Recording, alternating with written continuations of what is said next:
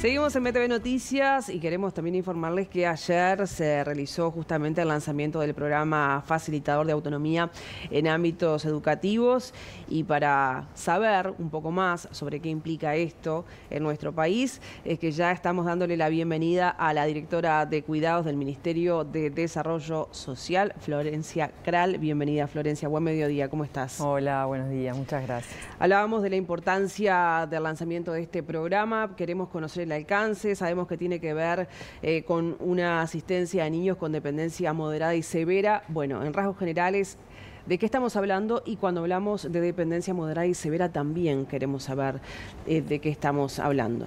Bueno, en realidad el sistema de cuidados tiene a cargo uno de los programas que atiende la dependencia severa, que es el programa de asistentes personales. Y ese programa fue creado para el cuidado de niños, niñas o personas mayores con dependencia severa en el domicilio. ¿Qué sucede?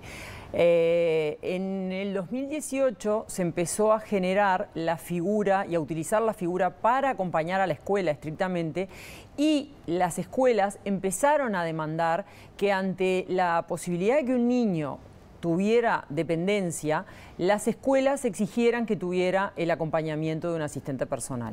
Eso hizo que no solo la demanda explotara, sino que se empezara a demandar una figura que no tiene la formación específica que requiere el acompañamiento en el aula para estos niños. La figura del asistente personal que brinda el sistema de cuidados es una figura que tiene una carrera de 152 horas, una capacitación que se llama curso de atención a la dependencia y que solo se le brinda capacitación y formación en cuidados básicos de la vida diaria.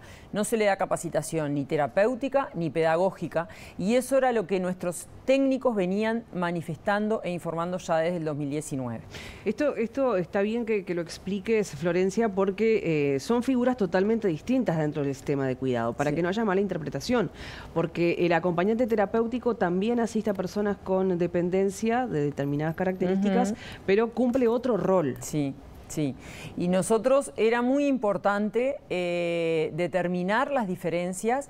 De hecho, las familias las saben las diferencias, porque las familias que, que, tienen chicos con dependencia lo saben porque su trayectoria les ha hecho aprender de la situación y saben que la formación, pero ante la impotencia de que les digan, bueno, su hijo no ingresa a la escuela si no viene con un asistente personal del MIDES, es lógico que ellos reclamen esa figura.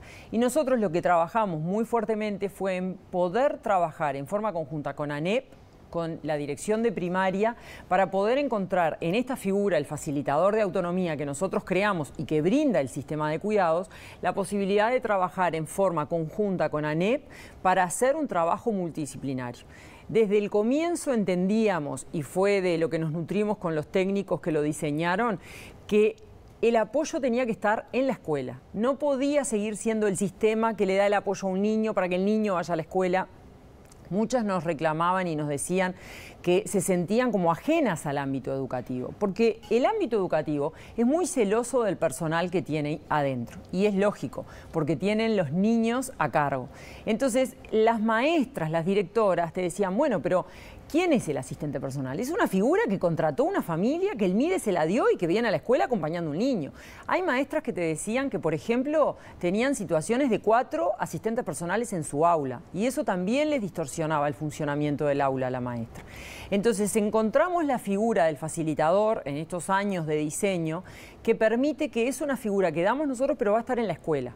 El apoyo va a estar en la escuela Ayer lo anunciábamos, las escuelas que definió ANEP son escuelas que bajo sus criterios definió en donde vamos a incorporar esa figura. Nosotros vamos a dar la figura, los niños se cruzan de la información de los que baremamos y dan esta dependencia y a su vez la escuela los tiene como registrados. Entonces, todo ese cruzamiento de información es el que permite que hoy comencemos en determinadas escuelas con determinadas facilitadoras contratadas para ello y niños que pasaron por el sistema y que asisten a esa escuela. Llevado a la práctica, ¿qué es lo que aporta al niño este facilitador o facilitadora? Este facilitador de autonomía va a tener un ratio de tres niños porque la dependencia no es tan severa, es más bien moderada y lo que insistimos es que los niños que tengan dependencia severa y sean baremados con dependencia severa van a seguir teniendo el asistente personal porque el programa de asistentes personales sigue con presupuesto sigue para el niño uno a uno que le decimos y que incluso si el niño ya lo tiene y va a esa escuela y a esa escuela le asignamos un facilitador,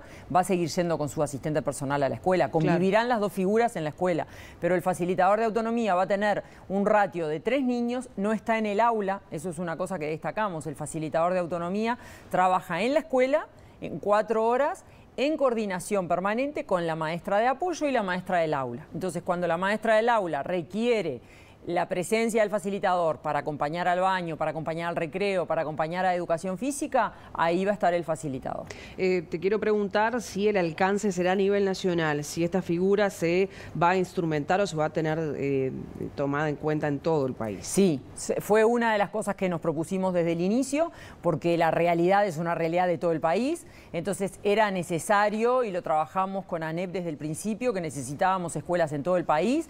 Obviamente la mayor demanda está en Montevideo, Canelones, zona metropolitana, pero pudimos elegir en esta primera etapa del piloto, que va desde ahora hasta diciembre, 20 escuelas en total o 21, 10 en Montevideo y las otras dispersas en el resto del país. Sabemos que hay algunos departamentos que quedaron sin cubrir, más que por escuelas, porque no tuvimos facilitadoras seleccionadas en esos departamentos, porque en la postulación, bueno, no aplicaron en esos departamentos, pero ya estamos iniciando en septiembre el llamado para las 100 que vamos a incorporar el año que viene y que empezarían en marzo, y ahí también ANEP nos definirá 100 escuelas de todo el territorio nacional que se suman a estas 22 y 100 facilitadoras que tendremos también en esas escuelas. Em, un estimativo, si lo tenés aproximadamente, ¿a cuántos niños hoy se han seleccionado para que tengan la posibilidad de tener un facilitador? Hoy tenemos 66 niños ya baremados y que ya están en condiciones de empezar con esta figura.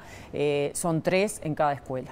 Bien, ahora cambiando de tema, te quiero preguntar algo más genérico que tiene que ver con el Sistema Nacional de Cuidados, cómo vienen trabajando, eh, los avances que se han logrado y, bueno, en, en campo, qué visualizaciones tienen de los resultados de las tareas que han ejecutado? Bueno, nosotros nos propusimos desde el inicio eh, mejorar algunas situaciones en materia de calidad. Ustedes nos escucharon hablar de que veníamos con una fuerte impronta de lo que era la humanización de los cuidados.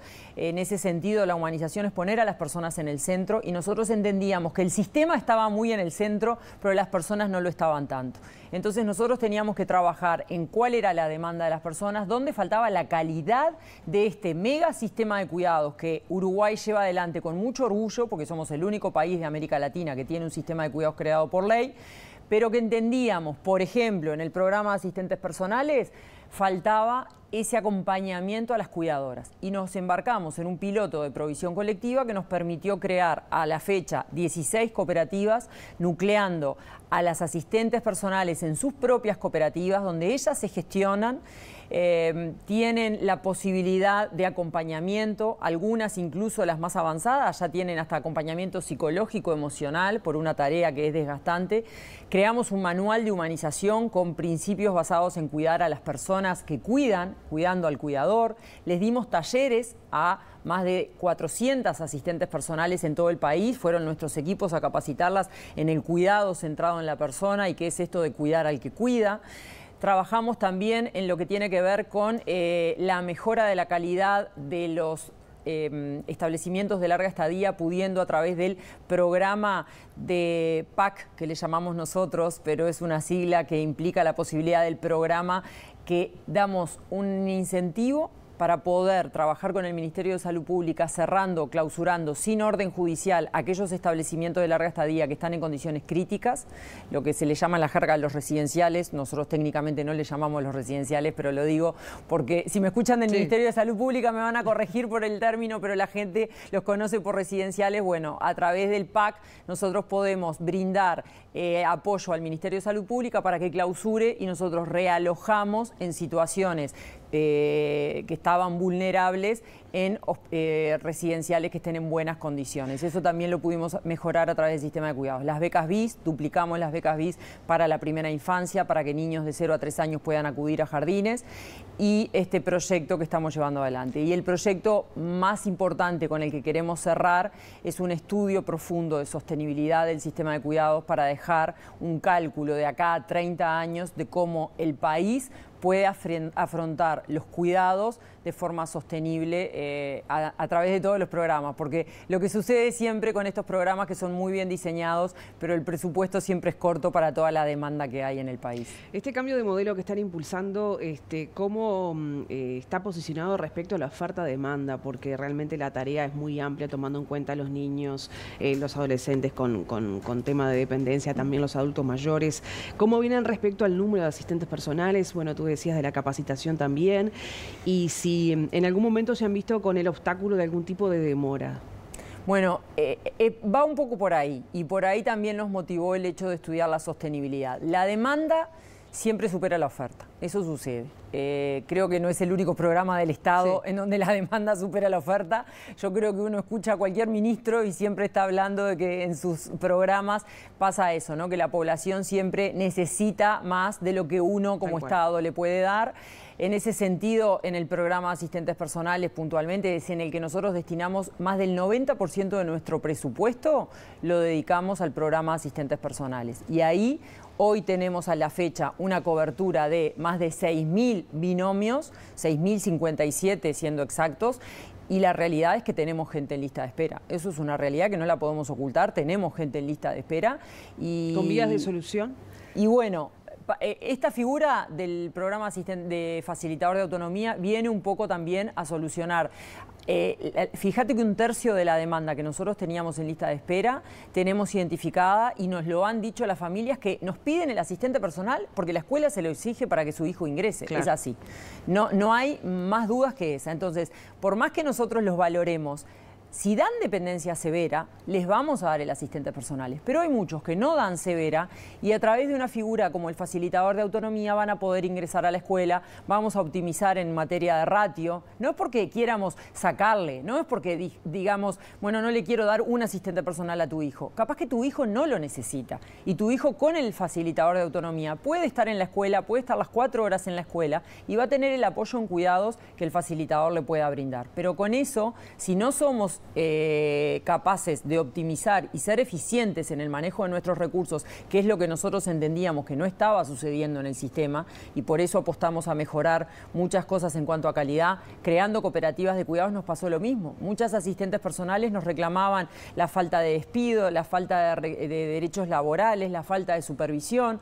Un Estado no puede supervisar 6.000 figuras en el domicilio. No es sostenible que un Estado, ni el BPS ni nosotros podíamos ingresar a 6.000 hogares supervisando uno a uno. Sin embargo, hoy, con el formato cooperativas, los controles estatales pueden ser mucho más eficientes. Bien, Florencia, por hoy te agradecemos. Muchas gracias por Gracias a ustedes.